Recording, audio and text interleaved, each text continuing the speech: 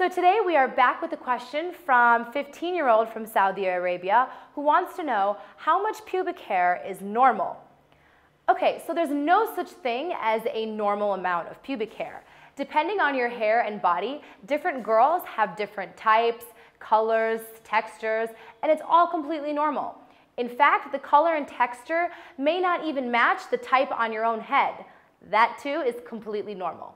Now, if you want to cut or trim or manage your pubic hair, that becomes a personal decision. But either way, there's no such thing as too little or too much. So if you want to reach me, you have two ways. Shoot me an email with your question to this email address below,